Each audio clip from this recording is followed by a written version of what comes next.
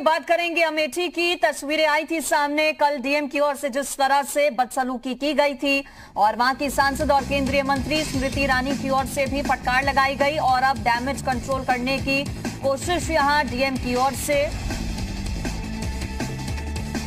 अमेठी से ये खबर दे रहे हैं आपको। अमेठी में मृतक के परिजनों से बदतमीजी करने वाले डीएम प्रशांत कुमार अब डैमेज कंट्रोल में जुट गए हैं।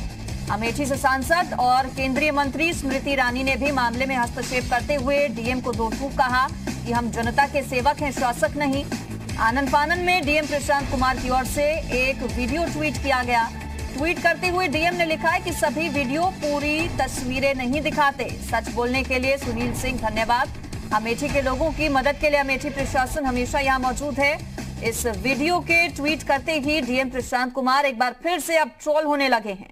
आरोप लग रहा है कि अपने आप को ज़िले का सबसे बड़ा अधिकारी बताकर रौब गालिब कर सकता है वो जबरन बयान भी तो दिलवा सकता है क्योंकि डीएम साहब वायरल वीडियो में पीड़ित का कॉलर खींचते साफ़ दिख रहे हैं। एक मिनट तक आराम पीड़ित का वीडियो ट्वीट किया गया है यहाँ पर डीएम की ओर से। डैमेज कंट्रोल करने की कोशिश डीएम की कहीं ना कहीं दिखाई दे रही है। कॉलर पकड़कर यहाँ पर धक्का देते नज़र आए थे डीएम साहब जिसके बाद सवालों के घेरे में आए। निकालने की कोशिश सांसद स्मृति ईरानी की ओर से भी की गई। आज मैंने कई न्यूज़ चैनल पे देखा कि एक अमेठी से संबंधित खबर चल रही थी इसमें यह दिखाया जा रहा था कि जिलाधिकारी अमेठी महोदय तस्वीर तो अलग अलग दिखा रहे हैं आपको दूसरी तस्वीर आप कल की देख पा रहे हैं और पीड़ित का वीडियो यह जो वीडियो दिखाया शेयर किया गया है डीएम की ओर से। डैमेज कंट्रोल करने की कोशिश उनकी ओर से यहाँ की गई। बिंदुवार उन्होंने सुना देखा और हर तरीके से जितना भी संभव मदद हो सकती है मदद करने का आश्वासन दिया। जिलाधिकारी महोदय द्वारा हमारे व्यक्तिगत संबंध है और कई वर्षों से रहे हैं। प्रिय मीडिया बंधुओं आज मैंने बयान ट्वीट किया गया है इससे ये भी लग रहा है कि कहीं ये ज़ोर ज़बरदस्ती दबाव में तो नहीं दिलवाया गया इस तरह का बयान। बचने के लिए चूँकि सवालों के घेरे में डीएम साहब आ गए। यह जो वीडियो दिखाया जा रहा है यह एडिटेड वीडियो है।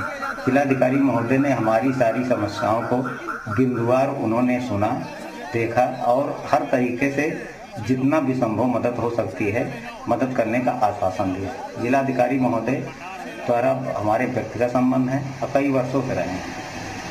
प्रिय मीडिया बंधुओं, आज मैंने कई न्यूज़ चैनल पर देखा कि एक अमेठी से संबंधित खबर चल रही थी, जिसमें यह दिखाया जा रहा था कि जिलाधिकारी अमेठी महोदय द्वारा मेरे साथ अभद्र व्यवहार किया गया है। जबकि ऐसा कुछ भी नहीं है।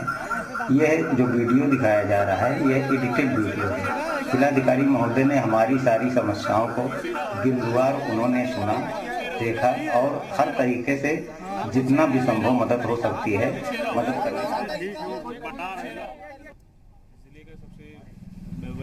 और हमारे साथ फ़ोन लाइन पर सतीश जुड़ गए हैं हमारे संवाददाता। सतीश, जब सवालों के घेरे में डीएम साहब आए, खुद सांसद की ओर से, वहाँ मंत्री की ओर से, स्मृति ईरानी की ओर से जब फटकार लगाई गई तो क्या ये डैमेज कंट्रोल करने की कोशिश, पीड़ित का वीडियो उनकी ओर से ट्वीट किया गया? क्या समझा जाए अब इससे? जी हम आपको बता दें कि जब वीडियो वायरल हुआ, डीएम साहब का तो डीएम साहब का वीडियो वायरल होते ही स्मृति ईरानी ने ट्वीट किया कि हम प्रशासक हैं, शासक नहीं है। इस तरीके उन्होंने ट्वीट किया, वहीं पर जो है, पीछे अधिकारी का एक वीडियो भी सोशल मीडिया पे वायरल हुआ। उसमें ये बताया जा रहा है कि वो डीएम साहब हमारे मित्र हैं, हम हमारे साथ सारी मदद किए। लेकिन कहीं ना कहीं जो है डीएम साहब का ये जो वीडियो वायरल हुआ, वीडियो वायरल होने के बाद वो जवाब नहीं दे पा रहे और इस तरीके से वो जो है पीछे सरकारी का वीडियो वायरल करवा रहे हैं। सतीश, जो पीड़ित है, जिनका ये वीडियो बनाकर ट्वीट किया गया है, शेयर किया गया है डीएम साहब की ओर से, क्या अब पीड़ित से बात करने की कोशिश हुई?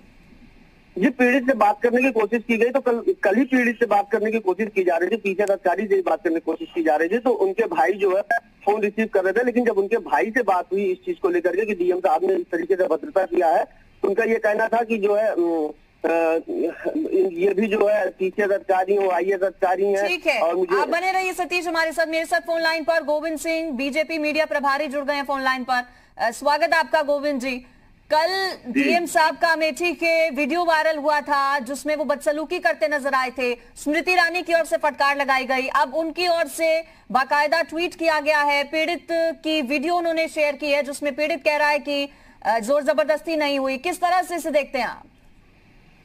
अरे भाई मेरा ये कहना है कि अगर वीडियो जो है गलत है डीएम साहब को एडिट एडिट किया गया तो डीएम साहब को अदालत चला जाएँगे जो सैकड़ों लोगों के सामने जिन्होंने खुली आँखों से देखा है कि उन्होंने वो उसके मृतक के बड़े भाई के साथ अभद्रता की, वहाँ सैकड़ों के हज़ारों लोग थे जिन्होंने देखा है। मैं वहाँ स्वयं था, मैंने उनकी अभद्रता देखी, जिस तरह उन्होंने वो वो भी एक पीसीएस अधिकारी, उसका कलर पकड़ के खींचा। बाद में उसके छोटे भाई ने जब विरोध किया, जो इलाहाबाद विश्वविद्यालय का पूर्व यूनियन का पूर्व महामंत्री रह चुका, उसने उसको डांटा कि चुप रहो मैं तुमसे बात नहीं कर रहा हूँ। हम्म। अब डीएम ने उसको बुलाया कहाँ से दबाव डलाया क्योंकि आपको पता है हम्म। ये उत्तर प्रदेश के सबसे भ्रष्टतम अधिकारी प्रदीप शुक्ला के दामाद हैं। वैसा इनके पास भरमार है अधिकारियों में भी इनकी बड़ी पकड़ होगी आई अधिकारी है।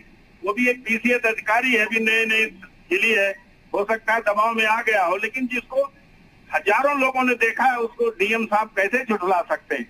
और हम तो मैं अपनी पार्टी के नेताओं से कहता हूँ कि ऐसे डीएम को तुरंत बर्खास्त करें हम्म।